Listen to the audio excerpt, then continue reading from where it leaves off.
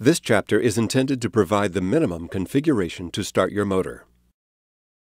Danger Unintended equipment operation. Before turning the drive on or on exiting the configuration menus, check that the inputs assigned to the run command are deactivated at state 0, since they can cause the motor to start immediately. Failure to follow these instructions will result in death or serious injury. Please consult the Altivar 212 programming manual available online at www.schneider-electric.com for additional information and instruction. The Altivar 212 embedded display terminal has three modes of operation monitoring, run, and programming. The drive powers up in the run mode. To select a different mode, use the Mode key to cycle between modes. The red LED on the left side of the display indicates the current mode selected. RUN for the run mode PRG for the programming mode, and MON for the monitoring mode. Turn on the device so that the Hello message is displayed, followed by the 0.0 on the LED screen. The drive is shipped from the factory configured for operation at 50 Hz incoming power. We will change the minimum number of parameters needed to start the drive and motor. These parameters are related to the motor you have connected.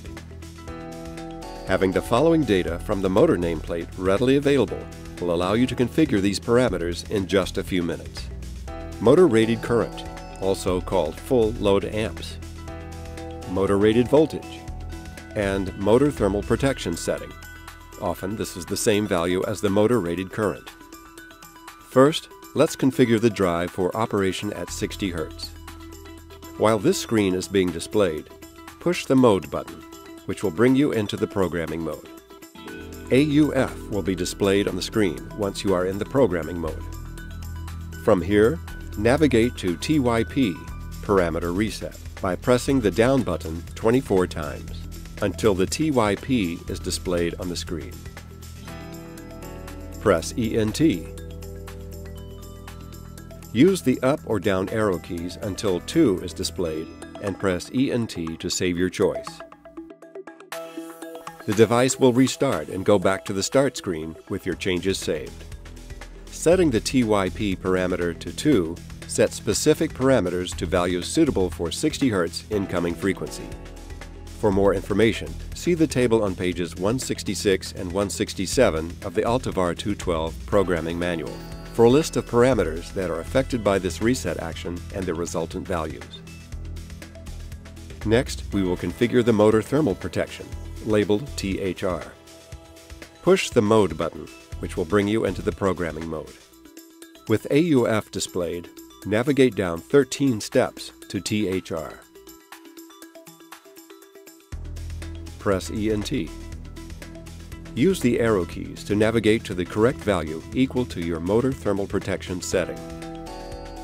Press ENT. This value will be set in amps. Next, we will configure the motor rated voltage, labeled ULU. Navigate down to ULU. Press ENT. Use the arrow keys to navigate to the correct value equal to your nominal motor voltage. Press ENT again. Next, we will configure the low speed setting, labeled LL. Navigate down to LL. Press ENT. The factory setting for this device is 0 Hz.